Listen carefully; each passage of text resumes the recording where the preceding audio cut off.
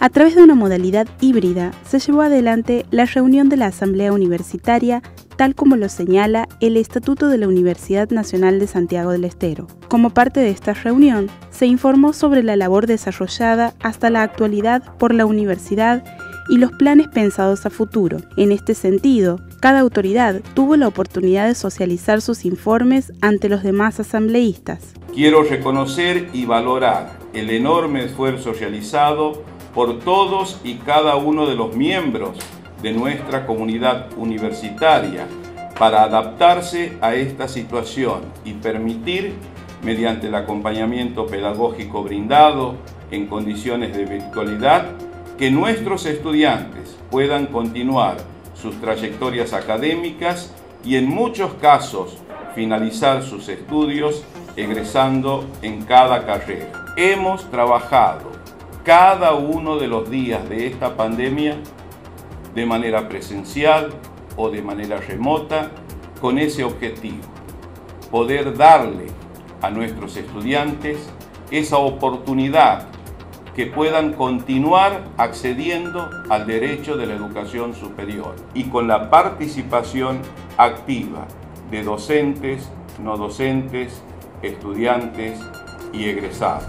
La editorial de la UNCE sigue ampliando su catálogo con nuevos títulos de autores santiagueños y de la región. Todos los viernes puedes escuchar en vivo los diálogos con los escritores mediante la cuenta de Instagram y los sábados a la mañana por Radio Universidad.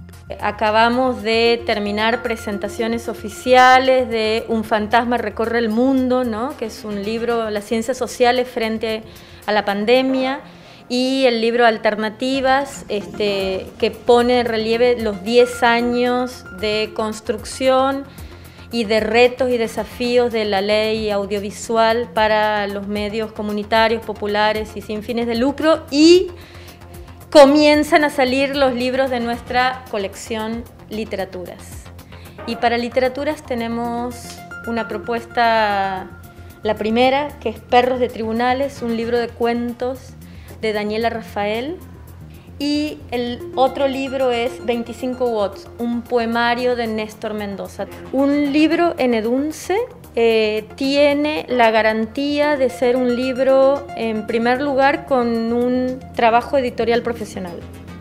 En segundo lugar, nosotros proponemos y la difusión y la distribución del libro este, y es nuestra categoría diferenciadora de otras editoriales en la ciudad.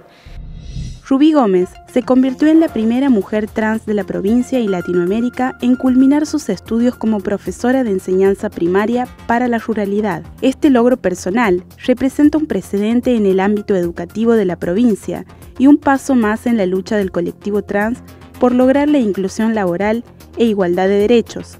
Es un doble esfuerzo porque nosotras, las mujeres trans, eh, con todo el estigma social, la discriminación, el imaginario social, tenemos un doble esfuerzo. Primero es ingresar al sistema entendiendo de que el sistema educativo, en mi caso, eh, es estructurado, eh, por ahí atraviesa mucho la cuestión religiosa y el entrar adentro también va a significar eh, esta segunda parte que demostrar que podemos hacerlo, que podemos estudiar, que podemos formarnos, capacitarnos y en este caso eh, poder recibirme y poder mostrar a la sociedad eh, esto, ¿no? De que soy la primera maestra trans eh, del nivel primario con modalidad ruralidad eh, a nivel local y a nivel latinoamericano. Nosotras, y en mi caso, eh, venimos sufriendo, digamos, mucha discriminación, mucho rechazo social.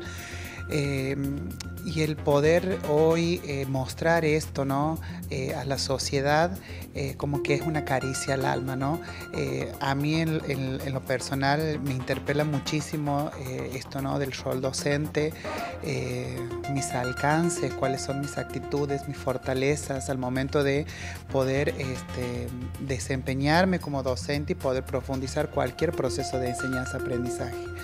Eh, y en lo colectivo, em, la organización justamente a la que yo presido, que es la organización ATA, eh, me ha dado todas las herramientas necesarias como para que yo pueda hoy decir que soy una persona sujeta de derecho, una ciudadana como cualquier otra persona, gracias a la ley de identidad de género, por supuesto. Em, y que a través de todas esas herramientas nosotros podemos decir que podemos ser profesionales tranquilamente como cualquier otra persona, eh, independientemente que sea trans o no, ¿sí? Eh, pero por el solo hecho de que somos personas necesitamos también tener este título y en mi caso un título profesional. Este logro de Rubí Gómez es un logro personal, pero sobre todo es un logro colectivo. Eh, es parte de una lucha que el colectivo trans viene transitando por vivir, por construir una vida eh, más vivible. Una lucha que, que tiene muchos años, ¿sí? Eh, que tiene muchos hitos y que el movimiento feminista ha acompañado también.